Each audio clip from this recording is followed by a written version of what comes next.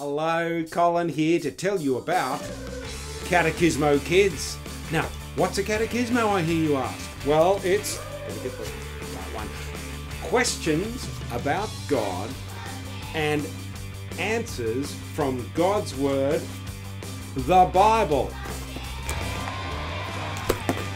Catechismo Kids. Nudges on it. He's my puppet pal. He helps me.